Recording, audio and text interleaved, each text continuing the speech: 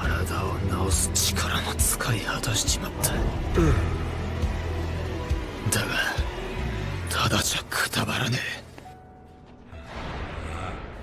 兄貴の記憶を見たぞ。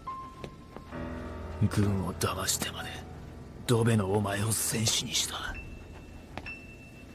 俺を守るために。待て。ダメだ。バルガー！これではっきりしたよな。最後まで俺の方が上だって。